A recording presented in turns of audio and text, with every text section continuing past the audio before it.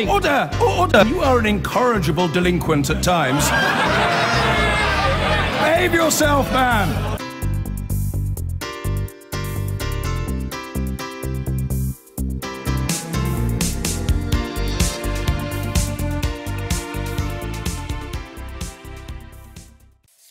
A Marine serving a life sentence for the murder of an injured Afghan fighter has been refused bail pending a rehearing of his trial. Sergeant Alexander Blackman had his case referred for appeal after new evidence came to light about his mental health at the time of the killing. But tonight, this programme has new testimony from his former commanding officer in Helmand. He tells us of his warnings about the wider unit that went unheeded and speaks of a lack of leadership leading up to the Blackman killing. Our chief correspondent, Alex Thompson, has this exclusive report. So the campaign to free Sergeant Alexander Blackman will now go on through another Christmas. We are obviously disappointed by the judge's decision not to grant bail this afternoon. However, we must remember that earlier this month, the Criminal Cases Review Commission decided to refer the case back to the appeal courts. No family reunion possible, of course, for the family of the wounded Afghan prisoner whom Blackman murdered. Tonight, the wider truth about this murder can be told for the first time, and it suggests that not just one man, but a whole unit had gone rogue and was effectively out of control. The senior commanders of the Royal Marines were warned about this time and again before the murder happened, but no changes were made of any significance. And when proceedings were taken against the officer concerned in the murder, those who'd made criticisms, those who'd issued the warnings were effectively silenced until now. Royal Marines in southern Afghanistan in July 2011. By September, commanders had been repeatedly warned that elements of 4-2 Commando had gone rogue, out of control. On September the 15th, that ended in the murder of an Afghan prisoner lying on the ground seriously wounded. The Marine's helmet camera recorded Sergeant Blackman as he shot dead the prisoner. Yeah, shut off this mortal coil, you Nothing you would do to us. I know. Exactly. Right.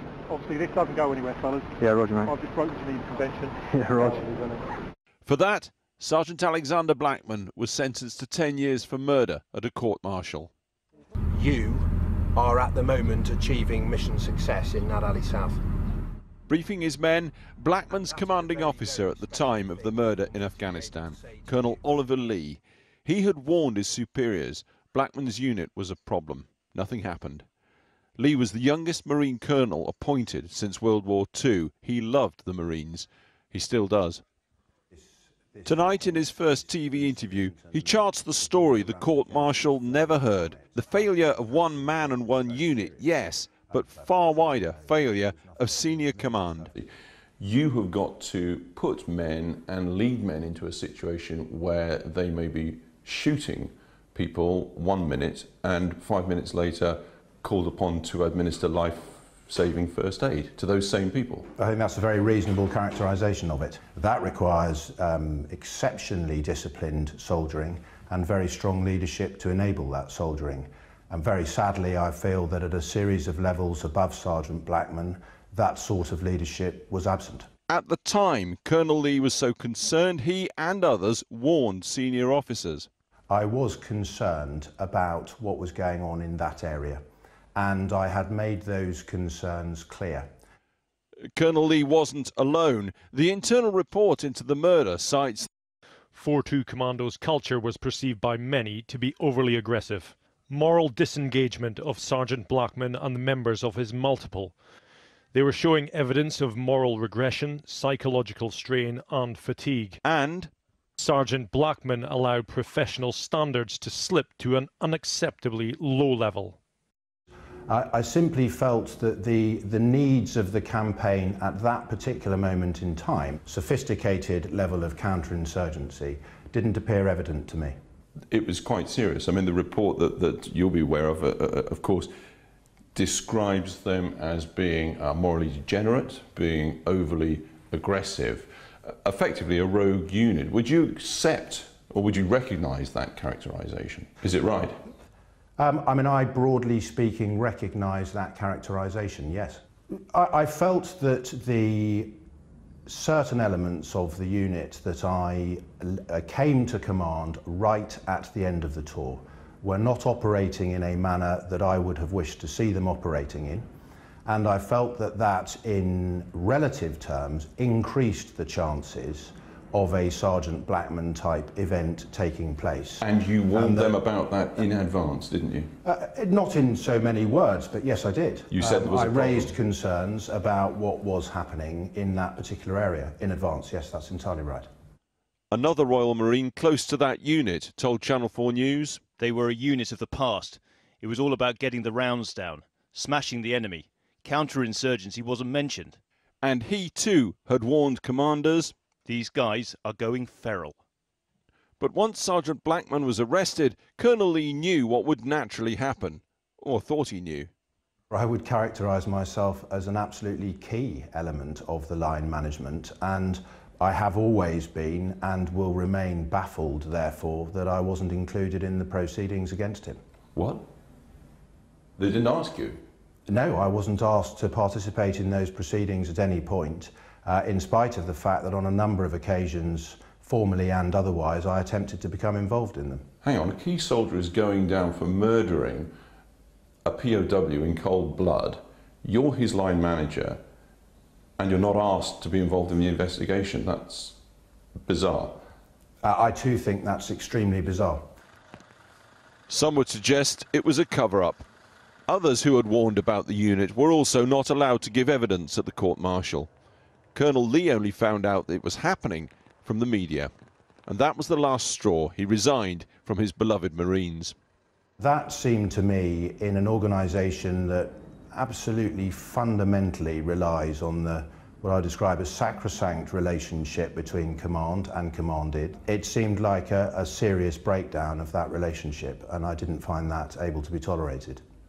Oliver Lee's spoken out today in the hope that the organisation he still loves can learn tough lessons about the pressures counterinsurgency places on leaders as well as led. This is an incredibly sad event, but it's, it's not an event that you know, unpicks 350 years worth of highly distinguished history. My sad suspicion is that the battlefields of the future will only become more complex and difficult uh, than those of today. And goodness me, aren't they complex and difficult? And so the premium associated with learning lessons from this sort of case simply could not be higher. Tonight, the MOD claimed they could not comment on a live legal case. When Oliver Lee was in Afghanistan, ISIS was just an Egyptian goddess. Times and challenges develop rapidly in war. Command structures must be up to the job, and that, Colonel Lee suggests, is what this sorry episode is all about. Alex Thompson reporting there. Well, I'm joined now by the lawyer and former Army Captain Patrick Hennessy, who served in both Afghanistan and Iraq. Welcome to the programme. So we heard there, I mean, obviously, um, the wife's very disappointed. Many soldiers, senior officers also disappointed by today's ruling. Mm. Do you understand where they're coming from with their disappointment, or do you think they should have just taken this for granted? I can see where they're coming from with their disappointment. I'm not a criminal lawyer, so the exact conditions over which bail are granted are not my area. Mm -hmm. um, but it does seem that the Crown was not opposing the idea of bail, and maybe there could have been exceptional circumstances. But I think that's a very narrow element of actually what's a much more um, complex, as you, as you heard there mm. from, from the former commanding officer, a much more tricky issue, which is about the relationship between the stresses of being uh, in conflict and how the legal structures apply to that. So, I mean, the argument in favour of uh, uh, Colonel Blackman is essentially that he, uh, you know, the stresses of war are so different. Civilians don't really understand that we have to make special allowances for soldiers in those sort of situations. Is that the right way to go? Is that, is that fair? I, I, think it's fair to say that the stresses of combat are different. Um, but I think what happened in this case, and, and uh, as, as, the MOD statement said, you don't want to prejudge what the Court of Appeal is going to say. There's clearly new psychiatric evidence. But my starting point for this has to be that we've all heard the audio of the gunshot that kills this injured Taliban fighter. The unit are not in contact, they're not being fired upon. There's no suggestion that that wounded person uh, is about to attack them. And very calmly, um, Sergeant Blackman says, don't tell anyone I've done that because I've just broken the law. Mm. Now, I think it's a very difficult circumstance. It's very difficult for anyone who hasn't been in that situation to say what the rights and wrongs are. But you have to be uh, almost whiter than white when you're prosecuting yeah. a military conflict like that. But also, I mean, we are, you know, we're constantly going on about Assad and his alleged war crimes. How can we possibly point the finger at someone like him if we're allowing someone like uh, Mr. Blackman to basically tear up the Geneva Convention on tape in the battlefield and get away with it? Well, I, I think that's why so far, I wouldn't criticise any of the steps that have been taken. Now, if the Court of Appeal looks at this and says, OK, well, there was material that wasn't before the court-martial and we're going to revise our sentencing, that is one thing. But I think we are still dealing in this country, and the British military is still dealing with the terrible legacy of Baha Mousa.